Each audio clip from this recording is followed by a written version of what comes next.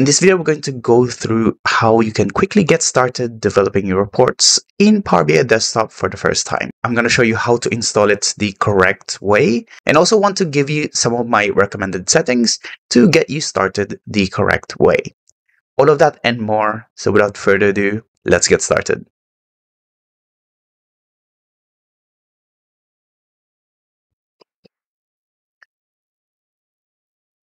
Hi, my name is Fernan and welcome to the Solutions Abroad YouTube channel, where we cover tips, tricks, and best practices when working with Power BI. I upload new videos every week, so make sure you hit that subscribe button and the bell icon to get notified when a new one is out. So if you want to get started developing your reports within Power BI, you'll most likely get started with Power BI Desktop. And if you don't have it yet, you'll most likely need to download it and install it first. Microsoft provides a couple different ways that you can install Power BI Desktop the first place that you will find it is to download it from directly from the download center in Microsoft. So when you Google Microsoft Power BI Desktop to downloads, it will bring you to this page where it will give you an option to download 64-bit desktop setup here, which will let you download and install Power BI Desktop. And this is actually how I've been doing it for years. So what it does is it installs the latest version of Power BI Desktop into your local machine which is fine. However, Power BI or the Power BI team releases updates, monthly updates, very frequently with a lot of new features that you want to take advantage of. So if you download and install Power BI Desktop like this, you will need to do this every single month to take advantage of those new features that they release. So I actually found that the better way for you to install Power BI Desktop is by installing it through the Microsoft Store. So if you have Windows machine, you can download and install Power BI Desktop this way as well. It's a fairly simple process, but what it does is that it makes sure that your Power BI Desktop is always up to date every time there is a new monthly feature. So this actually will save you a lot of time and effort to updating your Power BI Desktop and make sure that you can always use those new features that they release. So once you've downloaded and installed Power BI Desktop into your local machine, it will ask you to sign in to your Power BI account. Now this is optional, which means that you can already get started with working on developing your Power BI reports in your desktop without signing in. However, you are missing out on some of the features that you could take advantage of if you are signed in. Creating a Power BI account is free and it is pretty simple if you already have an enterprise email to use. But if you only have a personal email address, a Yahoo or a Gmail uh, email address, you won't be able to create a Power BI account. So you will need to make sure that you create it from your work email. However, if you don't have the option to use a work email address, I do have a video covering how you can create your own Power BI account using just your personal email address. So go check that video out if you haven't yet. Power BI Desktop, when it's installed for the first time, is configured to be as beginner friendly as possible, which means that there will be settings that you might want to adjust, enable, or disable to follow best practices so that when you're building more complex reports, it will be a lot easier for you to transition into them. So in Power BI Desktop, what you'll need to do is go to the gear icon on the settings menu here, which will bring up this options here.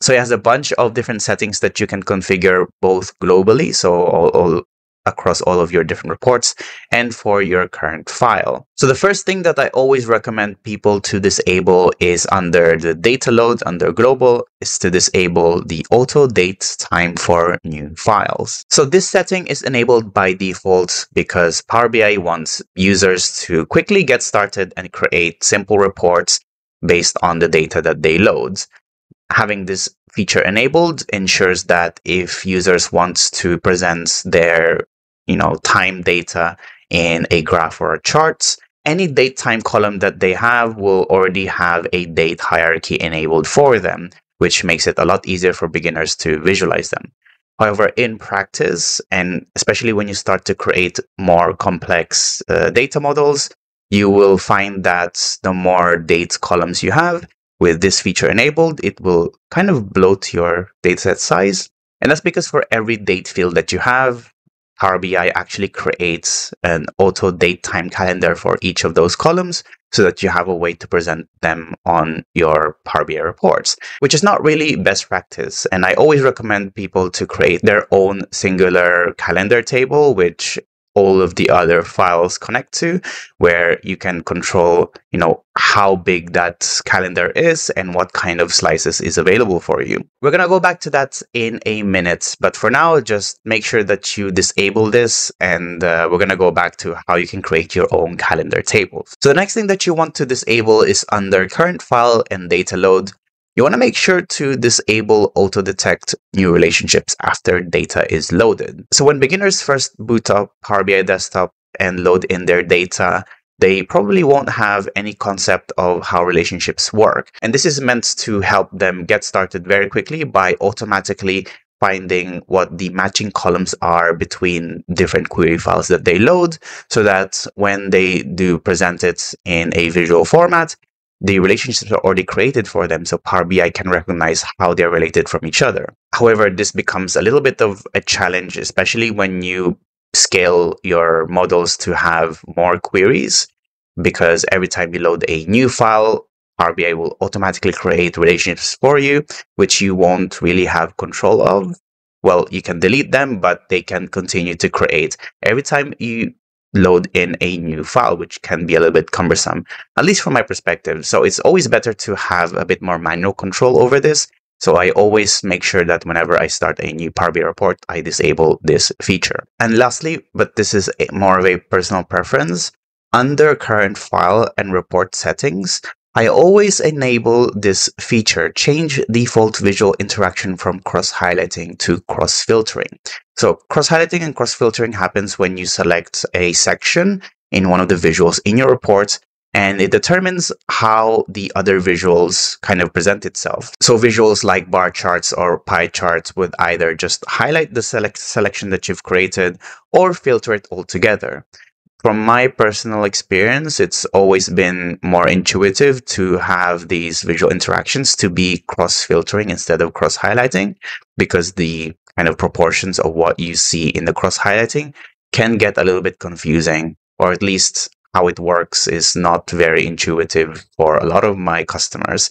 So I always make sure that I change this default visual interaction, which is something that everyone is kind of used to how it works. So the next thing that I would recommend to you before you get started developing your reports is by going to the preview features in this same settings options menu. So under preview features. So what you will have here are some of the features that the Power BI team has released in kind of preview before they become a default and release for general availability. So what I would recommend for you is to basically enable all of these features so that you can start taking advantage of them.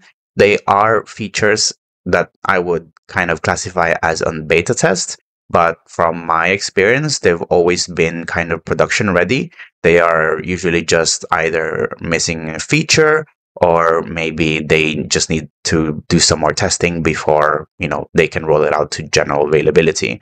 But for the most part i always just enable all of these so that i can start taking advantage of them because they release a lot of new features every month and it's always good to get used to them before they become generally available. The last thing that I would recommend to you before you get started is to actually start to install and use some of the external tools that are available for you. So these are third-party tools that are created by the community that can help you do a bunch of things that are either not available for you in the Power BI desktop UI or basically it's just some quality of life features that you can use to make your life a little bit easier.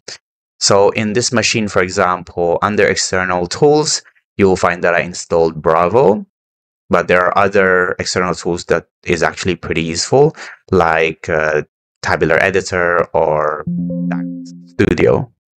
But uh, Bravo is something that uh, is created by the SQLBI team, and it can do a bunch of things like you know being able to export your table data. But what is actually very useful for that I use it quite frequently for is to be able to create your own calendar tables. So this is what I was talking about, where you can create or you would want to create your own singular calendar table that you manage, where all of your files kind of uh, connect to and it makes that whole process a lot easier because it provides you with you know a lot of different things that you would need to set up yourself such as holidays you know weekends uh, calculation for fiscal periods things like this and that's really it for this video so there are a bunch of other tips that I can give you when you're setting up your Power BI desktop for the first time. Uh, so we're going to stop from here, but obviously from here, there are other things that you could probably look at setting up, like creating a measures table or maybe creating a JSON for your, you know, branding, maybe creating some templates for your layouts just to keep your reports consistent. But I think this is basically a good kind of wrap up of some of the things that um, you can use to quickly get started the right way in Power BI Desktop. Thanks for watching. As usual, give this video a like if you found it useful. Give it a dislike if you didn't, so to do better for next time. Ask your questions in the comment section box below so I can help you and you can help others. If you like this video, we have a Patreon page where you can support the channel and get exclusive perks like early access, demo files, and credits at the end of these videos. Thanks again for watching and see you in the next one. Bye bye.